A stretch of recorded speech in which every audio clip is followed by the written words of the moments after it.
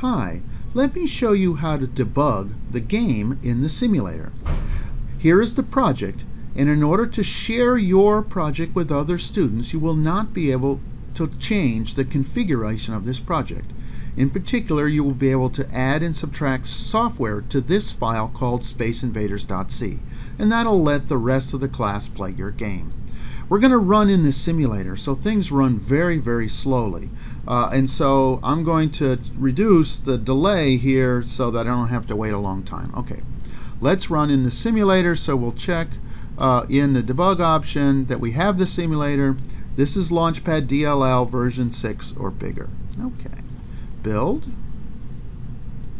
debug, okay. So all of the components of the game exist here in the simulator. Um, uh, here we have the Nokia. Uh, over here is the inner is the game console console. Uh, there's the DAC on this one, and so let me uh, single step uh, across the starter function.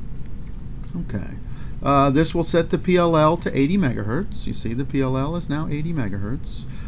There I'm initializing the random number generator, initializing the Nokia. Clear buffer, if you remember, just clears a RAM buffer. The display buffer will punch up that RAM buffer onto the display. Where we cleared it, display still clear. When we execute print, uh, that just draws into the RAM, so we see no change here. Okay, so step over, step over, step over, step over, step over, step over, step over, and this one will draw the image on the screen. All right, so we stepped over that one. Display is clear. We move the cursor. Now out string and OutDec will actually draw immediately on the screen. You see that? All right. Uh, that was the starter code. Uh, let me shut this off and run my solution so you can see how this would have worked uh, when it's completely done. All right, so we go quit, quit, quit this. Here we go to project, open up my solution. Okay. Uh, again, it's got the same project here, and this will allow us to share our games with other people. Um, again, I'm in simulation mode, uh, so I can just hit debug. Okay.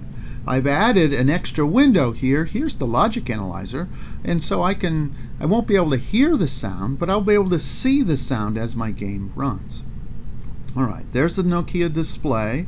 Uh, this is my uh, interaction cable. This is my interaction console, and I've set it up here in the in the default or required configuration mode, where uh, PE2 has the slide pot here.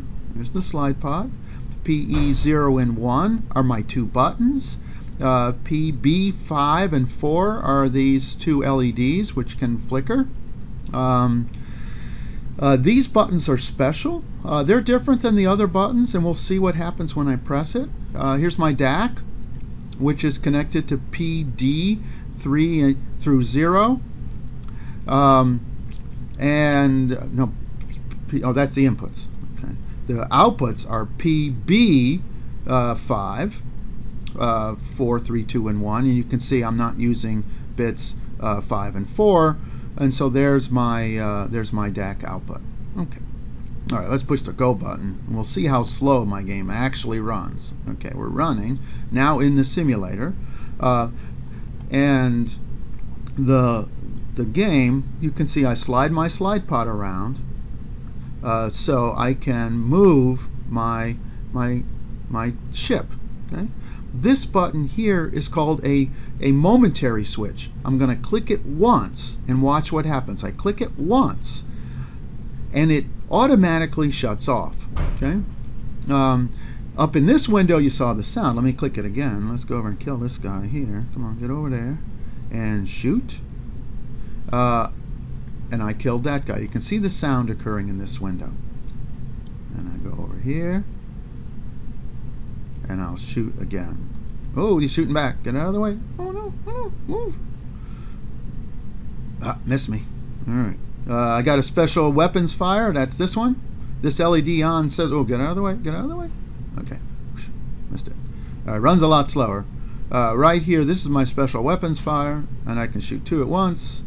Uh, and oops, I just got died. Okay, so in summary, what we have here is the ability to run the game in simulation. Uh, it'll run about 10 times slower uh, than the real board, but we can see all the components. We can make sure that all of our software is working before we start debugging on the real board. All right, that's how it works, the first stage.